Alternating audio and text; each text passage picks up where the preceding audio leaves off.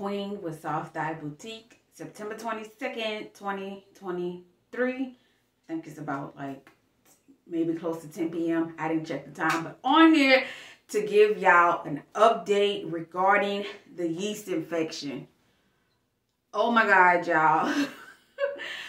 so thankfully I can laugh to keep from crying. So I actually realized that I did not have a vaginal yeast infection. Okay. So I had a full body yeast infection. And how I realized that was through my scalp. I got my hair done Friday, but I don't just go to a regular cosmetologist. My cosmetologist, she's also a licensed trichologist as well. So she specializes in scalp and scalp health. So I got my scalp done, got my hair done, got a silk press, sweated out already, life in Louisiana. Um, and it's September and it's still 99 degrees. But anyway, got my hair done and I realized after I took the Femiclear that I was uh, having all of this dandruff, which was really, really weird. Or so I thought was dandruff, which was really weird because usually I don't deal with that after I go get my hair done. Then when I noticed that, I was also noticing that I actually took two courses of Femiclear and things were not getting better. And I knew that I had also got a full uh, panel uh, STI, STD uh, vaginal swab test.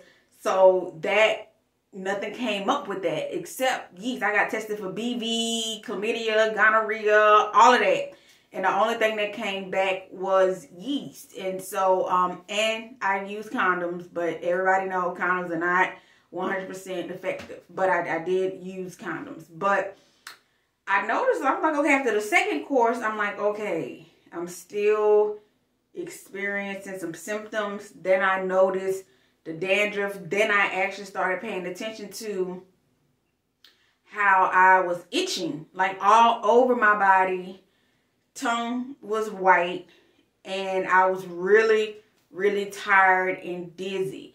A lot of that, I had been tired and dizzy and brain fog, but I was just thinking that that was a symptom of, you know, the lingering parts along COVID because I did overcome COVID back in um, June.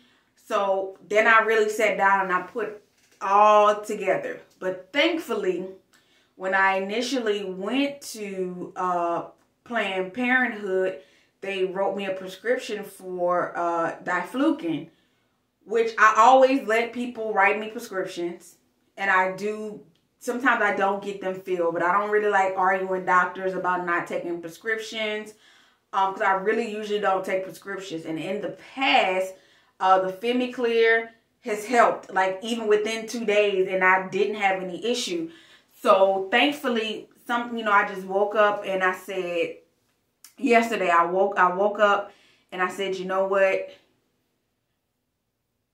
I just got out, I just got over COVID.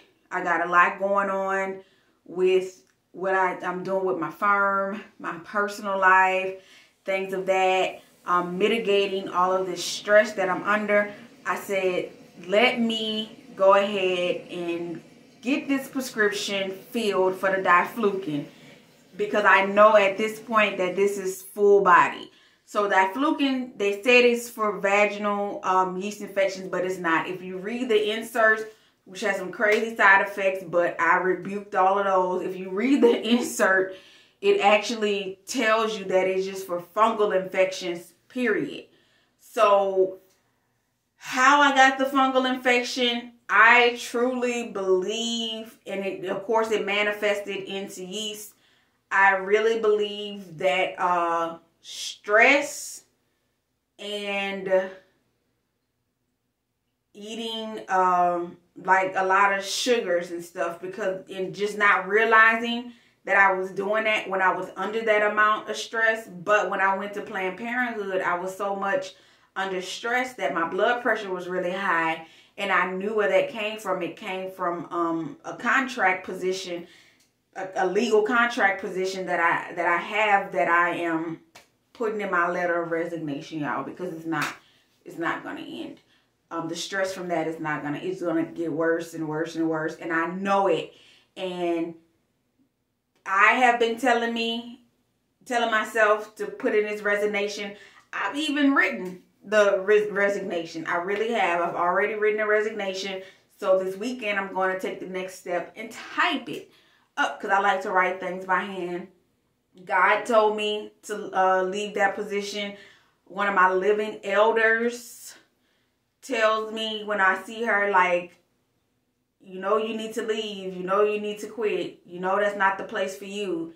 And um, I'm seeing in real time what it is doing because um, that's the, the perks, I guess, that comes along with having a womb is it that our womb tells us before the rest of our body tells us that something off. So actually it manifested into a vaginal yeast infection that was like the biggest red flag because obviously this has been going on in my body and I just wasn't realizing it until it manifested into a vaginal um, yeast infection as well. And y'all know when I have anything off down there, I have to stop.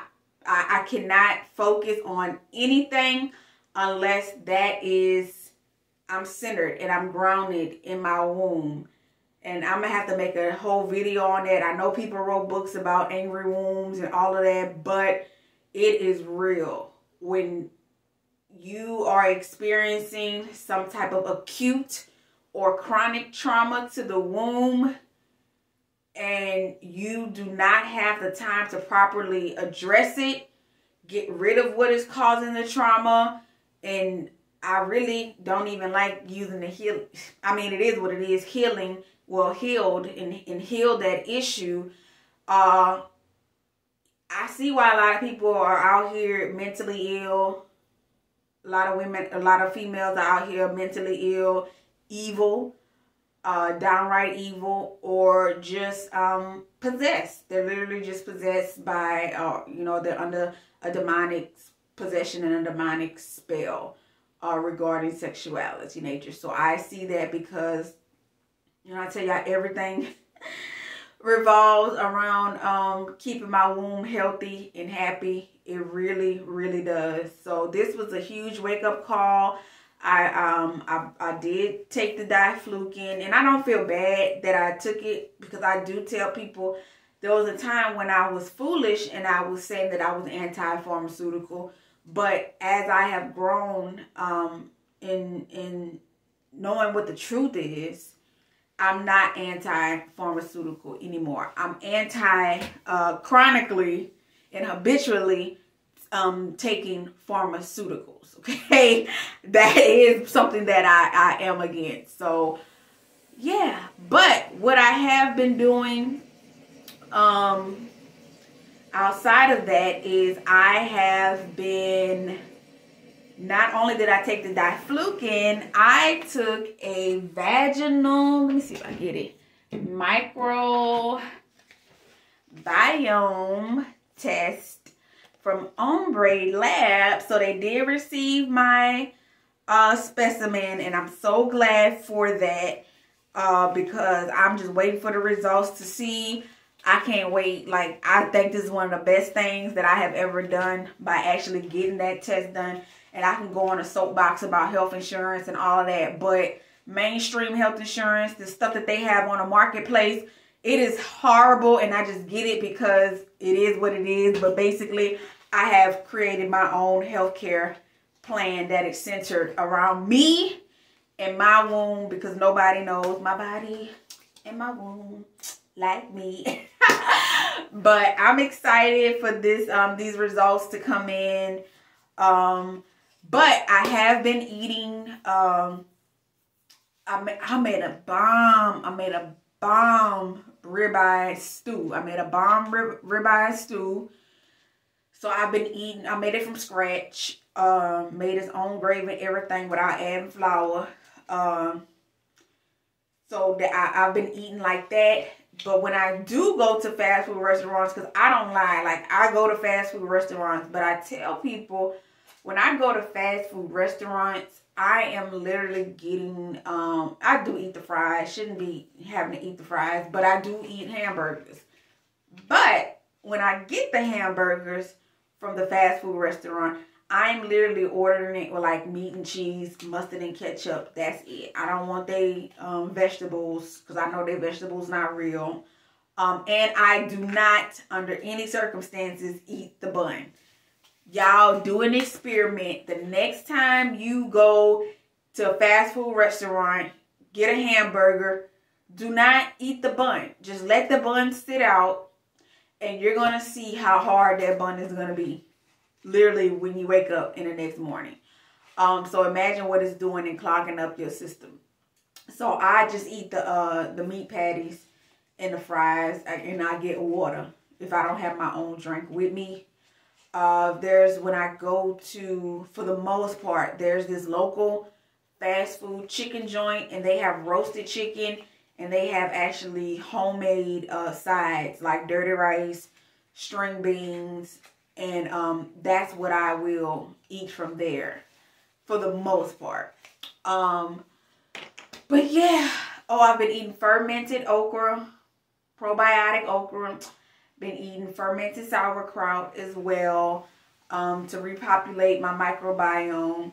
Um, after I've just because of the yeast infection, the candida infection, and because of I took the diflucan and I know I need to repopulate my microbiome. But I'm excited about it, y'all. Excited, excited. So I want to show y'all something else. So I am doing a full, because y'all, like, I am scratchy all over. And I know that's where they come from, their yeast. So, but thankfully my skin is not broken or anything. So I am doing a full body French clay French rose clay mask. So I, I mixed the rose clay and I um I mixed it with rose water. So thankfully, and rose clay is not made of roses. You can get rose petal powder though. But I prefer French rose clay over bentonite clay uh, just because it's more gentle on the skin and less drying, not as drying on the skin as bentonite clay is. So I'm like excited, excited about this. Cause I love, um, I just, I, I love that act of knowing you know, I don't really even like using the word detox no more. Cause that just came so cliche. But, um, y'all, I'm sorry, this is pipe. That's just, if y'all hear that, that's what that is. So, I'm working on uh, manifesting my ideal home, okay, a state home at that. And because I'm not buying a house that um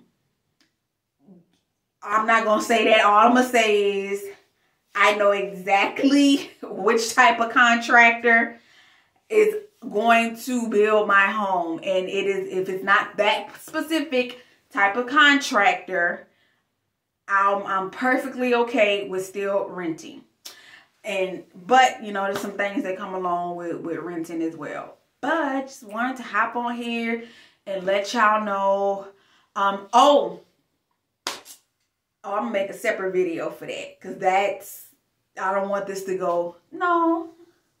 Yeah, I'm gonna make a separate video. So just be on the lookout for how I manifested a housekeeper how I manifested a housekeeper, um, using the law of assumption. On, and I, I like, I know it's called a law of attraction, but we really don't attract anything to us.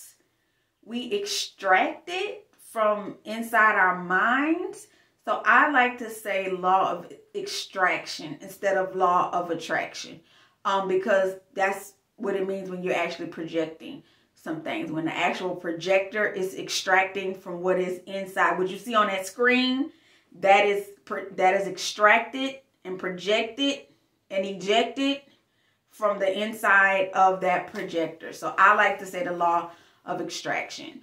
So um, how I manifested a housekeeper with the law of extraction. So Queen with Soft Thigh Boutique wanted to give y'all update on